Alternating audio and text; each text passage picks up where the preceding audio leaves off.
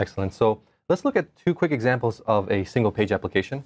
Um, this one here is Microsoft's uh, Cognitive Services, and this actually, I believe, is built with Angular. Um, but I do want to show here the um, the single page application. So we have here the top bar, uh, menu bar, and everything like that, and then we have here the content. So I believe now we're on home, and when we switch over to applications, um, we really don't need all the top area here to change whatsoever.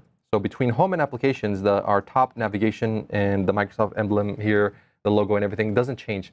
So this is essentially what we say when we see uh, we talk about single page applications, where part of the application uh, changes. Now, not a big deal here because there's not much content here. But if I were to show you another one, like for example, GitHub is a good example.